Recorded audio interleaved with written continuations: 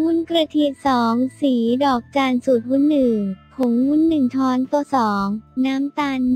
150 กรัมสามเกลือเศษ1ส่วน2ช้อนชาสี่กะทิ 500 กรัม5น้ำเปล่า 500 กรัม6ใบเตย5-6ใบแก่วิธีทำ 1. แช่ผงวุ้นในน้ำเปล่า 30-1 ชั่วโมงค่ะให้วุ้นมันอิ่มน้ำสอง เอาน้ำแช่ผงวุ้นไปเคี่ยวไฟกลาง อ่อนก็ต้องคนหม้อตลอดเวลานะคะ เพื่อไม่ให้วุ้นมันติดก้นหม้อค่ะ รอให้วุ้นเดือดแล้วใส่ใบเตยลงไปต้มด้วยนะคะ พอเดือดสักสิบนาทีตักเอาใบเตยออกจากหม้อค่ะแล้วเติมน้ำตาล และเกลือค่ะสามพอเติมน้ำตาลและเกลือแล้วคนต่อไปให้เดือดสัก 5 นาทีแล้วค่อยใส่น้ำกะทิค่ะสี่ พอใส่น้ำกะทิแล้วต้องหมั่นคนนะคะอย่าให้กะทิแตกมันเคี้ยวต่อสัก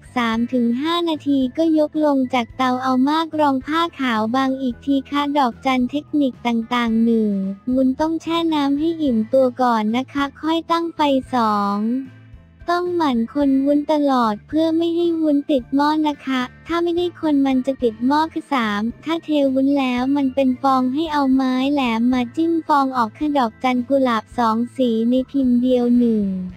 เตรียมพิมพ์กุหลาบ3เซนไว้นะคะ แล้วหยอดวุ้นกะทิลงไปไม่ต้องเต็มพิมพ์นะคะ เหลือไว้จากขอบนิดหนึ่งเผื่อจะได้หยอดวุ้นที่เป็นสีลงไปสอง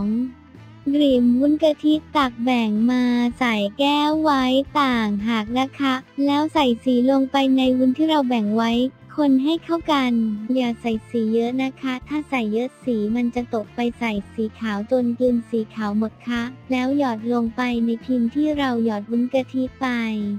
ไม่ต้องรอให้วุ้นในพิมพ์กูหลายเฉดตัวนะคะ เราหยอดลงไปได้เลยค่ะ ยกตัวอย่างเช่น เราหยอดวุ้นในพิมพ์เสร็จไปสิบตัวเราก็เอาวุ้นสีหยอดลงไปในพิมพ์ต่อเลยนะคะ ไม่ต้องรอให้วุ้นเฉดตัว